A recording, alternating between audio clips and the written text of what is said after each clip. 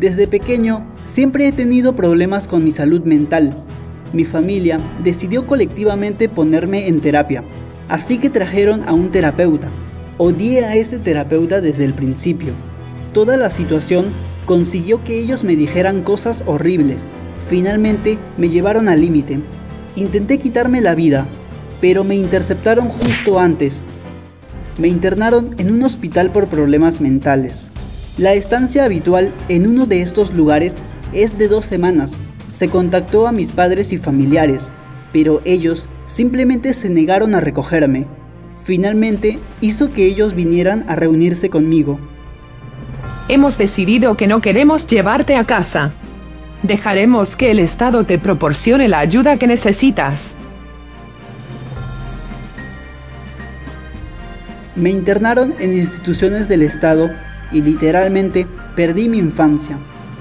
Actualmente tengo 20 años, no volví a saber nada de mi familia, pero finalmente puedo reírme de todo esto.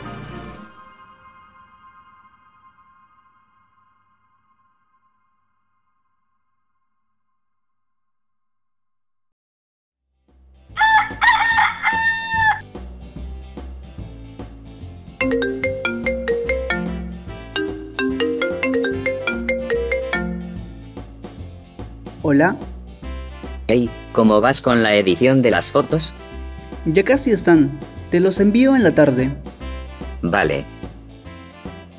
Por si se están preguntando, tuve la oportunidad de estudiar fotografía gracias a una beca que nos dio el Estado. Fui uno de los mejores en mi clase y actualmente trabajo para una de las revistas más importantes de la ciudad.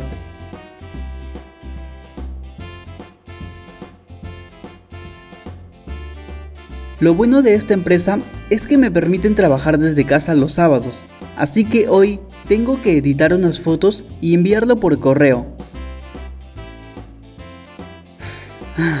Me encanta mi trabajo.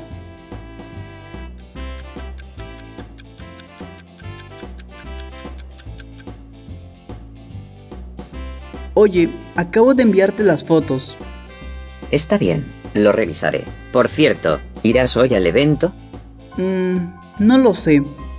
Venga, anímate, todos vamos a estar ahí. Vale, está bien. Genial, ahí te veo entonces. Ok, hasta luego. La empresa suele hacer eventos donde van los socios e inversionistas. Además, es una buena manera para que los trabajadores se relajen. Aunque yo nunca suelo ir porque no me gustan las fiestas, pero creo que hoy me vendrá bien un relajo.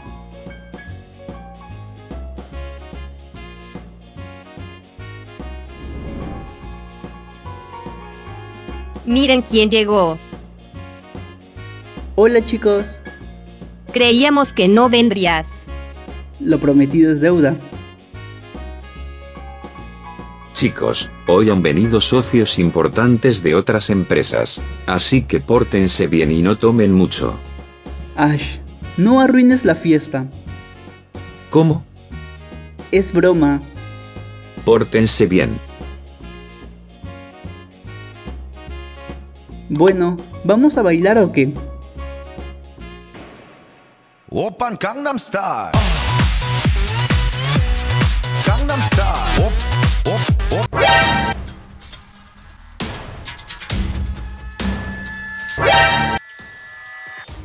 ¿Qué hace él aquí?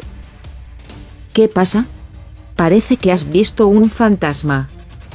No, no pasa nada. Oye, ¿estás bien? Sí, voy a ir al baño, ahora vuelvo. Vale. No puedo creer la mala suerte que tengo de encontrarme aquí a la mujer que me abandonó.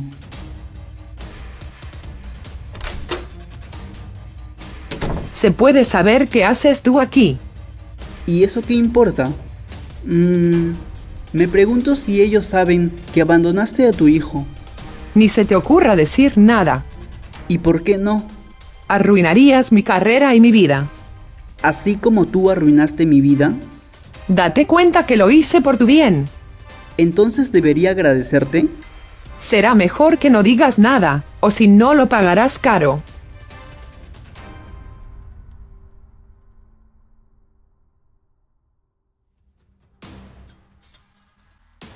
¿Qué te ocurre? No, nada. Solo me duele la cabeza. Creo que me iré. Pero aún es temprano. Sí, mejor iré a descansar. Me despides de los demás. Cuídate. Está bien, ve con cuidado.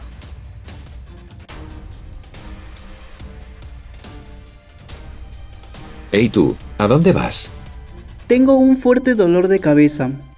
Oh, está bien, ve a casa. Gracias. Una pregunta. ¿Conoce a aquella señora que está parada allí? Sí, es la jefa en la agencia de publicidad con la que trabajamos. ¿Por qué? Oh, no, por nada. Solo se me hacía familiar.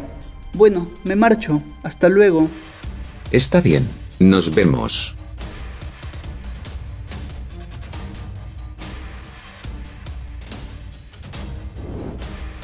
Así que ella ahora es jefa de una agencia de publicidad. Creo que entiendo por qué me dijo que arruinaría su carrera y su vida si contara que ella me abandonó. Cuando estaba en el albergue, siempre me enseñaron que la venganza no es buena, pero sinceramente, quisiera que ella sufra un poco lo que yo sufrí cuando me abandonó. Para ser honesto, no sé qué hacer.